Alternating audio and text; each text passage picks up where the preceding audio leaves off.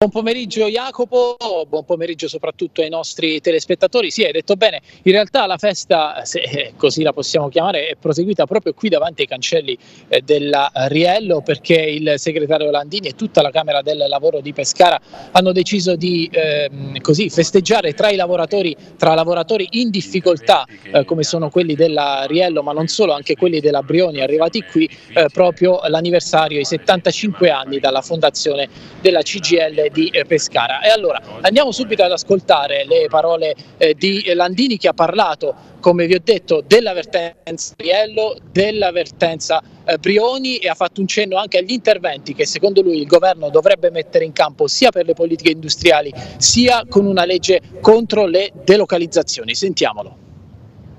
Sì, credo che ci sia bisogno da un lato di un provvedimento legislativo che vincoli le multinazionali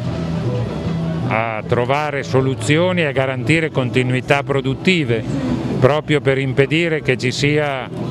un utilizzo delle nostre competenze, delle competenze dei lavoratori che poi vengono disperse e delocalizzate in altri luoghi. Per questo c'è bisogno di intervenire, di impedire che se ne vadano semplicemente licenziando, ma impegnando anche queste multinazionali a trovare soluzioni industriali anche sul territorio e a dare una continuità produttiva e occupazionale. Dunque queste le parole di Landini che ha tenuto un comizio proprio qui davanti ai cancelli dell'Ariello dove c'erano i lavoratori ma anche alcuni esponenti eh, politici del centro-sinistra. Adesso andiamo ad ascoltare proprio la voce eh, dei rappresentanti dei lavoratori, dei sindacalisti e lavoratori dell'Ariello e della Brioni. Vedete, è difficile eh, vedere una collega che, che, qui, come tante altre, qui ha ci ha rimesso la schiena in questa, in questa azienda con, con, il lavoro, vederla piangere come una bambina di, di, di 5 anni ogni volta che parliamo di questa, di questa vicenda. Capite qual è il paradosso? Il lavoratore licenziato che si vergogna, mentre la vergogna deve essere quella dell'imprenditore, dell'impresa che decide di delocalizzare, di mandare via senza una, una reale crisi effettiva. Facile neanche per noi affrontare eh, questa brutta situazione. Credo che Kering debba dichiarare al momento cosa veramente ha intenzione di fare, perché negli ultimi due eh, piani industriali che ci ha illustrato, in quello di qualche anno fa e nell'ultimo dell'anno scorso, non si è rivelato mai eh, un piano industriale reale cioè sempre sembrano righe scritte con inchiostro nero su carta bianca.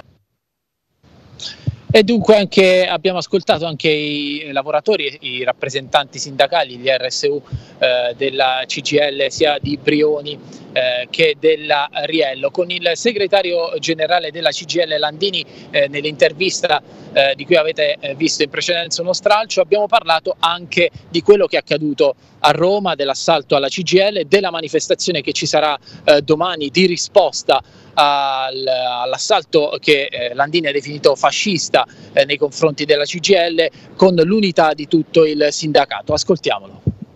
Ci vedo un tentativo di, di strumentalizzare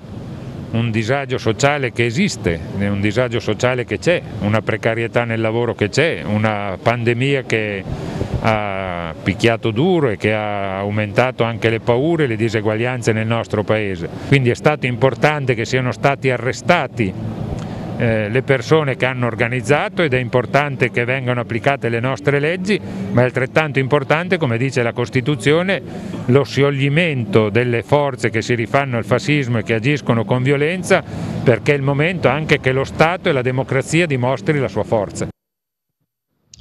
E dunque eh, Landini, come avete sentito, ha parlato di democrazia e lo aveva fatto anche nella Lexio Magistralis, se la regia è pronta può mandare anche le immagini di questa mattina all'Auditorium Petruzzi di Pescara, dove la mattinata pescarese di Landini era eh, iniziata. Eh, Landini si è rivolto agli eh, studenti e ha parlato loro appunto con un eh, lungo intervento eh, anche dei temi che sono in agenda in questo momento, della centralità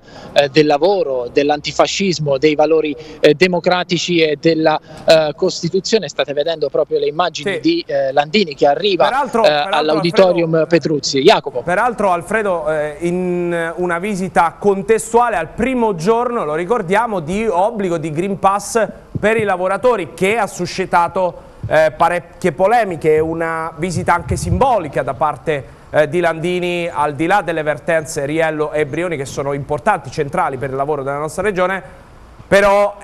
il, eh, essendo il primo giorno, oggi 15 ottobre, primo giorno di obbligo del Green Pass obbligatorio per i lavoratori, una visita non casuale. Ecco.